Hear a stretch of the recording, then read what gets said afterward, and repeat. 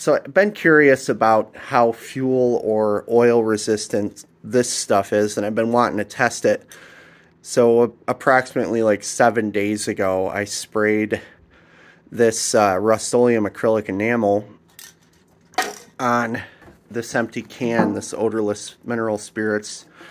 You can see it on this side. You see how shiny that is? And I just want to see if it's fuel or gasoline resistant. So we're going to test it here.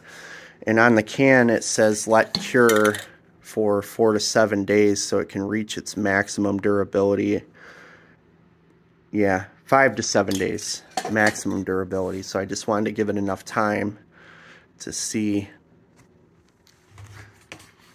And right here, my improvised motorcycle gas tank, I got a little bit of gas left over. This is 87 with ethanol in it.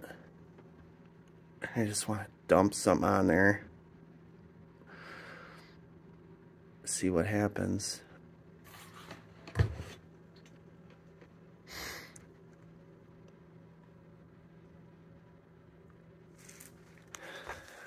I'm going to wipe it up because that's most of our first instincts is to do that. Oh, yeah, definitely not fuel resistant.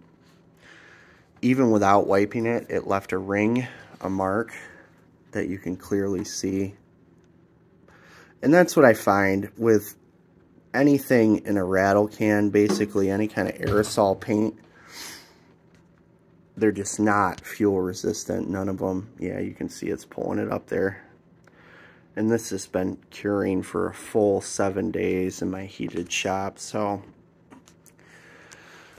I had hope for the acrylic one, acrylic enamel. No bueno.